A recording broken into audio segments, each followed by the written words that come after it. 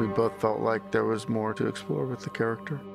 It became obvious that we wanted it to feel spontaneous, off the cuff, and dirty. We didn't want it to be like anything you'd ever really seen. Joaquin put heart into something not everyone could. This story is extremely emotional.